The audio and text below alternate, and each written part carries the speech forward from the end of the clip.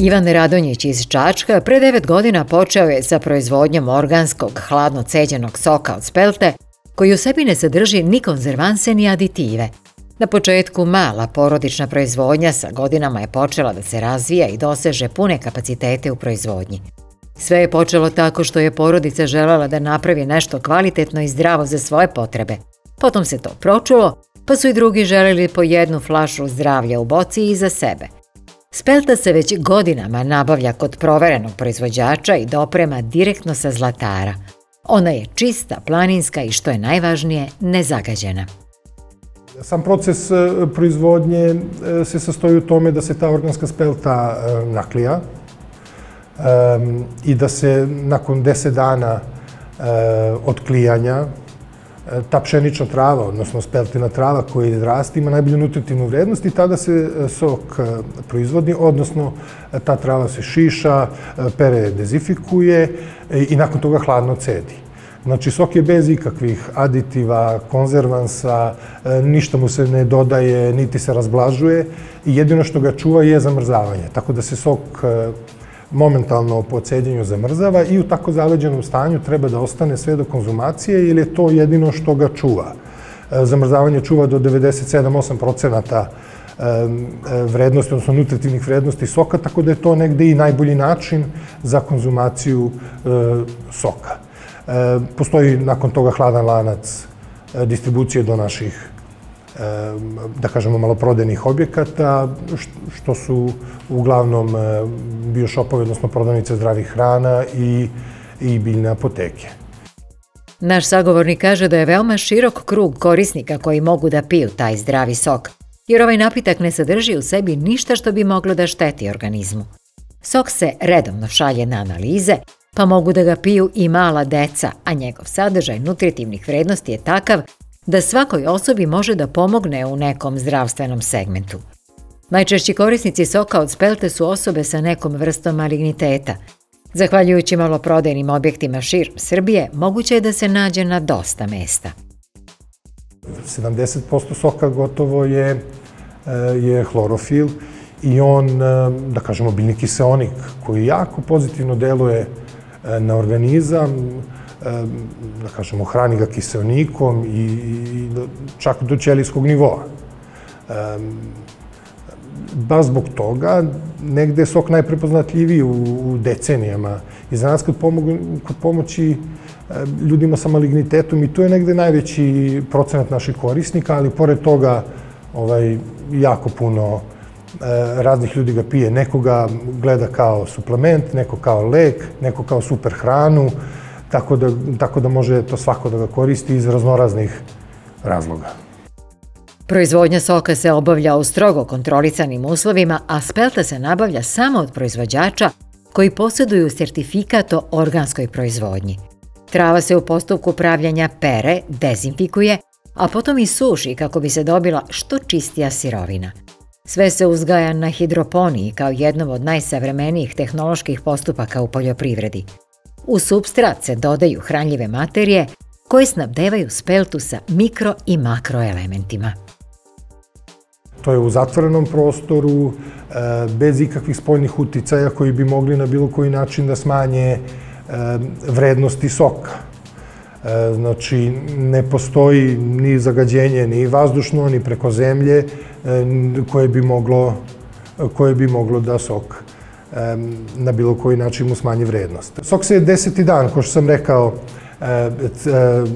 cedi, odnosno pre toga, iako su kontrolisani uslovi, ta pšenična trava, odnosno speltina trava se i pere i dezifikuje i nakon toga suši i onda hladno cedi. E, to je dosta važno, da su to dobre mašine za cedjenje koji izlače e, gotovo sve iz pšenične trave da bi sok bio što, što kvalitetniji.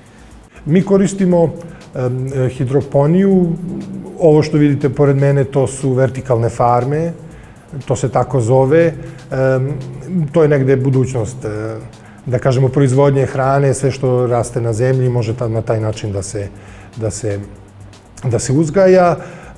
I, to je jedan kod nas već veoma proveren, pošto 10 godina bavimo time, sistem koji daje dobre rezultate i, i, i kod kojeg je sve 100% sigurno i ne postoje nikakve šanse da, da se nešto vanredno desi. Proizvodni kapaciteti su takvi da u svakom trenutku mogu da odgovore na zahteve tržišta. Dnevno može da se preradi od 30 do 100 kg pšenice, ali se prosek kreće u rasponu od 30 do 50 kg, od čega se dobije oko 20 litara soka svakog dana. Ivan se odlučio da ide na kvalitet umesto kvantiteta, pa tako koristi samo najhranljivije delove iz biljke, iako ona može da se koristi u više turnusa. Pšenica kada, odnosno spelta kada se počiša, taj korenski sistem koji ostaje iza nje, E, nastavlja da raste i on bi mogao da se e, ponovo iskoristi, e, da izraste nova trava, ali mi to ne radimo zato što jednostavno ono prvo inicijalna trava koja izraste u tih 10 dana prvih je izvukla većinu nutritivnih vrednosti iz, iz zrna pšenice, odnosno iz zrna spelte i mi jednostavno se trudimo da nas sok bude najkvalitetniji mogući i, i ne bi nikada uh, to radili, jer jednostavno e, sok ne bi bio to i kvalitet bi bio značajno lošiji. Ovakav vid proizvodnja, osim dobre logistike, iziskuje i izvesna novčana sredstva. Naš sagovornik kaže da je uglavnom sve sam finansirao. Mi smo krenuli samostalno. E, od, e, jed, od, od šest ovih platoa koje vidite iza nas za naše potrebe, pa smo jednostavno malo po malo dodavali prema potrebama, U jednom trenutku smo imali i podršku Razvojne agencije Srbije pre 5-6 godina e, za opremanje, gde smo sredili objekat e, i uveli ga, da kažemo, negde u HASAP e, sistem, odnosno HASAP vrednosti, ali sem toga ulaganja, ako su, ko što smo mi radili postepeno godinama, nisu velika. Ali ako bi sad neko odjednom hteo, odlučio se da pokrene ovu proizvodnju, onda jesu značajna zato što ulaganja ne samo su u proizvodnji, nego moraju posle za transport i za samu e, prodaju, e, moraju da se angažuju sredstva, pošto je sok u zaleđenom stanju i mora da ostane sve do konzumacije, tako da mora i da se, ču, i da se transportuje i da se čuva u, u komorama, odnosno u minusnim temperaturama, da. Početak nije bio lak, sve su sami učili iz grešaka i ponavljanja, da bi na kraju postavili proizvodnju na noge kroz složen empirijski proces – Pre deset godina malo ljudi je znalo za ovaj sok i sve dragocenosti koje nosi sa sobom. Bilo je potrebno vreme da se ljudi edukuju i upoznaju sa novim proizvodom na tržištu. U početku, kada smo krenuli sa prodajom, to je pre devet godina, jako, jako malo ljudi je uopšte znalo za sok, čulo za njega, ko je čuo za njega nije znao, većinski nisu znali ni, ni, ni te neke benefite, odnosno dobrobite organizmu koji sok daje. E, u godinama koje dolaze, ljudi su počeli da, da saznaju više o soku, ali i danas, eto, posle 10 godina bavljanja ovim, ja mislim, većinski 95-6% stanovništva e, nije nikada ni čulo za sok niti zna njegove benefite, tako da naš posao jeste bio i od prvog dana do dana današnjeg da ljudima objašnjavamo e, šta je sok, kako im može pomoći, da, da jednostavno E, to je sastavni deo našeg posla, a to je jedna, mi smo jedna mala porodična firma, mi to radimo od usta do usta, e, mi se ne reklamiramo, e, tako da je to jedan onako konstantan proces edukacije ljudi s kojima smo u svakodnevnom kontaktu, što telefonski, što preko maila, što lično. Dalje planovi ove porodične firme kretaće se u pravcu osvajanja tržišta u regionu i plasmana soka u zemlje u okruženju.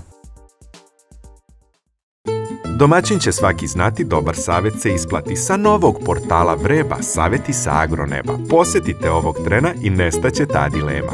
agrosaveti.rs Sajt koji nudi odgovore.